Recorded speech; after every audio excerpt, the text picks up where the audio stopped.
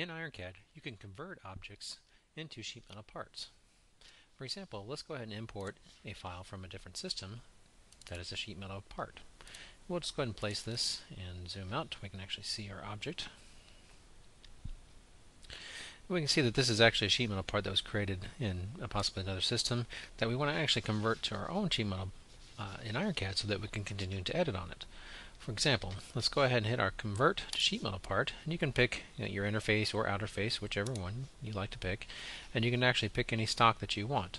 Also, you can actually select custom stock and if you pick the face again,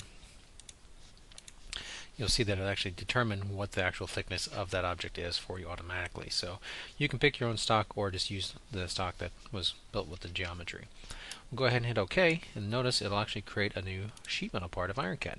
So we can go ahead and suppress or delete our original object, and you'll see that we now have our a sheet metal part that was created for us based on that information.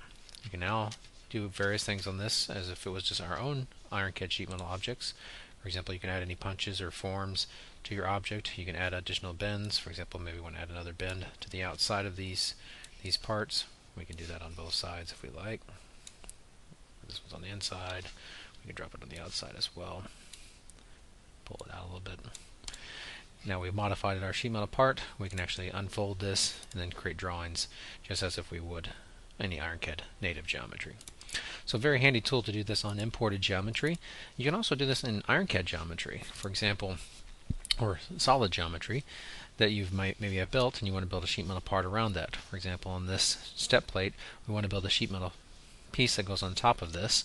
You can actually select the command, again, pick the face that defines that sheet metal, and you can do various things again by picking the stock. You can also do an offset distance.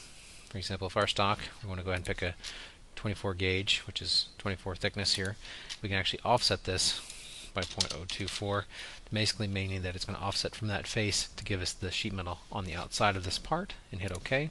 You'll see that it actually creates that for us automatically, built right along that surface of our, our solid geometry for us with the holes and everything intact. So all we need to do is right click on that and unfold. We have our sheet metal part automatically created for us. So a very handy feature to use even not only imported data but your own uh, IronCAD data and create sheet metal from that, from a solid.